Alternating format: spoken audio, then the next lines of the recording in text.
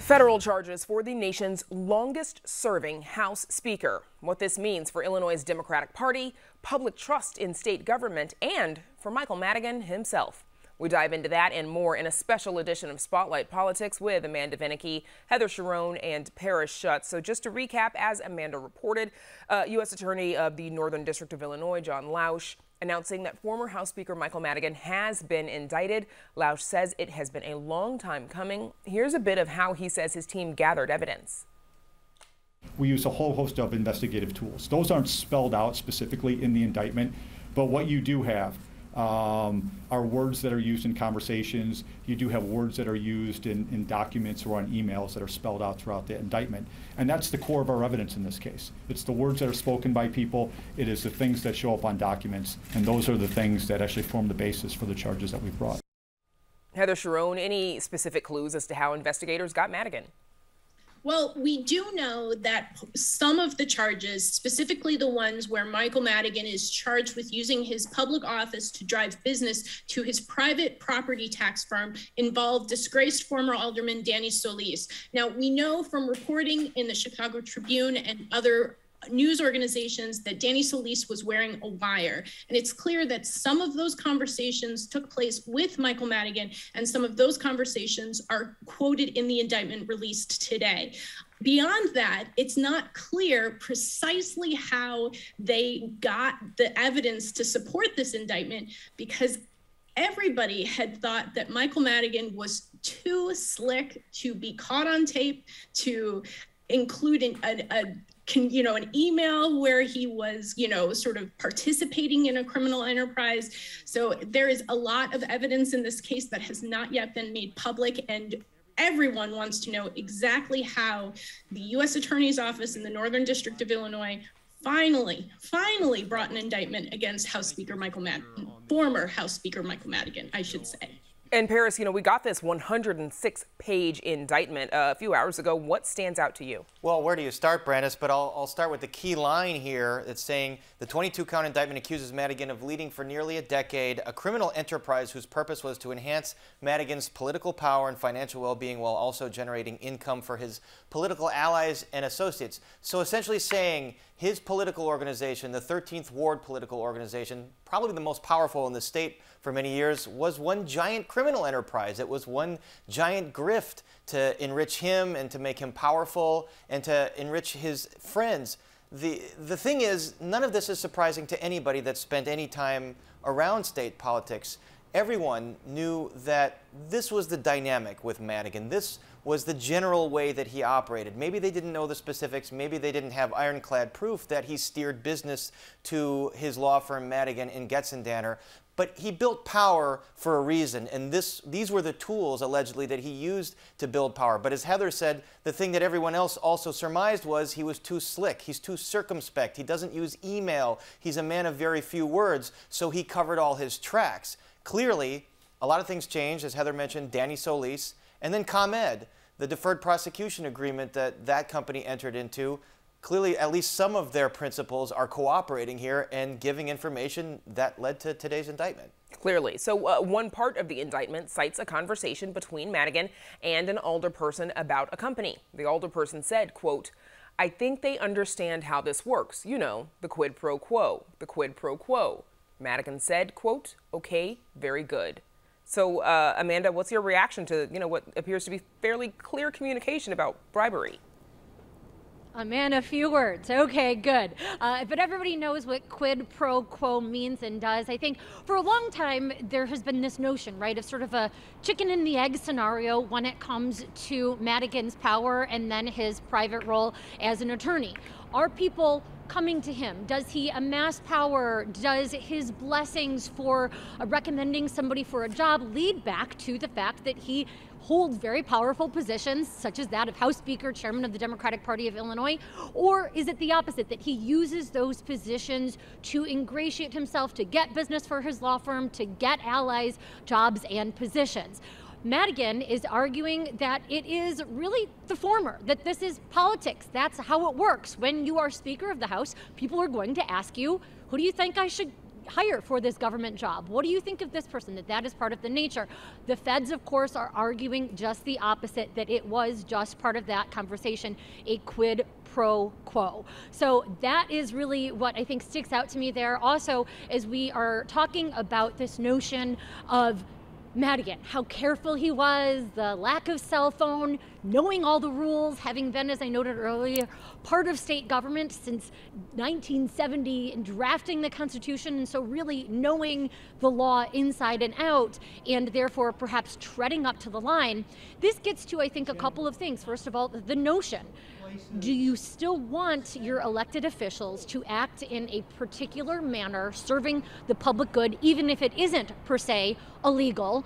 And also, how Madigan was using some of these, uh, apparently knowing the law, to do just that to sort of skirt it. The indictment details the use of third party cell phones coded language. We know that McClain, one of Madigan, they served in the Illinois House together way back when, close friends, confidants, that McClain referred to Madigan as himself. So it appeared, it, the feds are making the argument that Madigan knew what he was doing was wrong and was intentionally doing what he could to try and evade the feds and investigators. And to this, I'm going to jump in and just say, like that quid pro quo. He, he says later, allegedly in the indictment, don't use the words quid pro quo. By the way, Danny Solis, and that that highlights the role of Danny Solis, a former alderman, chair of City Council's zoning committee. So part of this alleged scheme was Solis uh, developers come to Solis. They need a zoning change in this instance. Solis says, all right, well, if they want the zoning change, uh, they have to hire Madigan, and it's you know this alleged scheme here. Madigan in this indictment is a part of that. Clearly, Solis got messed up in his own problems federally. He cut this deal with the feds, and he has not faced any kind of prison time or anything like that, clearly because it ensnared Ed Burke and now uh, Mike Madigan. So Solis wearing a wire here playing a huge role. So the indictment, it cites instances, as we know, from just this past decade, though from 2011 up to 2019, though Madigan had been in power for much longer than that, Heather, as we know. Um, are there any signs that this alleged corruption, that it spans further than what has been charged? Because we do know that the uh, USA said that the investigation is ongoing. So we don't know. We don't know that um, you know, if you read this indictment as sort of a full accounting of Michael Madigan's alleged criminal actions, it began just 10 years ago. But I think everybody is wondering how could that be if he's been in power as speaker all but two years since 1983 how did it just start you know in 2009 it doesn't make a whole lot of sense to, to most people. What struck me from this indictment as well was that they were able to put a dollar figure on, on what they say madigan and his associates gained from that. And that totals 2.8 million dollars. And I, I think it's not you know too, too important to stop and, and put a period on that because the U.S. Attorney's Office today alleged that essentially Madigan and his associates through a criminal enterprise, stole that money from Illinois taxpayers. And we sometimes forget, well, with all of the politics and the drama, that at the center of the deferred prosecution agreement that Commonwealth Edison signed was a scheme to raise electricity rates on Illinois residents. So that's sort of how all this started. And how far back does it go? nobody, I think, will ever really know. Who can tell? In recent years, Democrats have slowly started to come out against Madigan, but for years we know many have supported him and still do and did up until the day he uh, resigned. Uh, GOP lawmakers today, though, they held a press conference in response to this indictment. Uh, here's a bit from State Representative Tom Demmer of Dixon. The important message here today is that ethics require more than just not breaking laws that a culture of ethics in Springfield doesn't wait for an indictment to happen, but that we hold each other accountable, that we go through the appropriate process, and that we get the answers that we need when we need them. Going forward, Paris, do you expect to hear any conversations about Democrats, uh, their potential role in sort of allowing this to happen, considering that Madigan held so much power over them in their seats and their fundraising? Yes, I mean, that is the case that Durkin made, the Republican leader Jim Durkin made today. It's a case that Republicans in the middle of a campaign cycle here will probably try to make. And there are many Democrats uh, that jumped off the Madigan bandwagon. There was one, and then two and three and four kind of followed after that uh, once they kind of knew where this investigation was going. I also want to bring up one more point about this indictment. Mike McClain is also charged with these 22 counts, and he still has his own federal case, which basically he is charged uh, uh, in connection with the exact same alleged activities. And Lausch was asked that today. Why is McClain charged here when he's already charged? And Lausch didn't really answer, but the, the obvious implication here is he is the key witness here. They want him to flip, and they clearly haven't gotten him to do so yet. And, and, so right now, I mean, the feds wouldn't bring a case if they didn't feel it was strong, but it's a stronger case if Mike McClain says, you know, all this stuff, he made me do it. And his lawyer today is saying McClain's not going to do that. So he, the feds still, I think, they still think they want to tie up some loose ends with this case. Heather, uh, Madigan is likely to put up a very strong defense, of course. Uh, what are you expecting as this case moves forward? Well, I'm really struck by the parallels with the criminal case facing Alderman Ed Burke. He has pled not guilty. We certainly expect Michael Madigan to plead not guilty. And they are essentially charged with some of the same criminal conduct, using their public office to drive business to their private property tax appeals firm. And in the, in Ed Burke's case, he is using his massive campaign war chest, which he is perfectly entitled to do, to pay lawyers who have buried the government in a blizzard of motions and challenges that have dragged on this case for nearly three years at this point. And I expect Madigan is going to do exactly the same thing. I expect him to challenge the legality of the wiretap that we talked about with um, former Alderman Solis.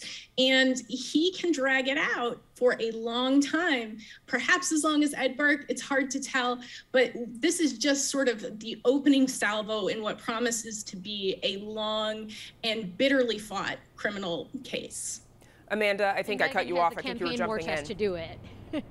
oh yeah, Brenda. I was going to add to Heather that Madigan certainly has the campaign war chest to be able to do that, to be able to fight with fury in the courts against this. I also wanted to point out to what Paris said earlier. I mean, it is striking. Burke, of course, still in office. Madigan is not a committeeman, but he really does not have anywhere near the power that he once did. And so the 19 legislators, women, by the way, um, led this. They were the ones who jumped ship when it was a very scary thing to do, and Democrats would be in a very different position had those 19 individuals not taken this leap and Madigan was facing these charges while still holding the positions of DPI chairman and Illinois House Speaker. Can I bring up one more thing? Alaina Hampton, the young woman that I think three or four years ago came forward about sexual harassment allegations in Madigan's 13th Ward operation.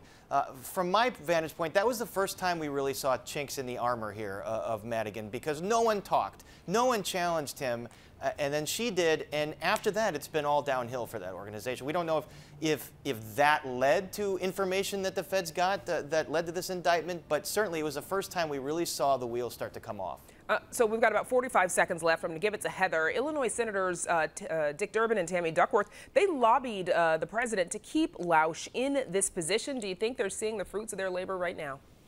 They sure are. Both senators picked a very public fight with a newly inaugurated President Joe Biden back in January to say, don't fire Lausch, who, of course, was appointed by former President Donald Trump when Joe Biden fired all of the U.S. attorneys, as one normally does when a new president takes office. Durbin and Duckworth went to the president and they said, no, you've got to leave Lausch. There's too much going on with corruption in Illinois.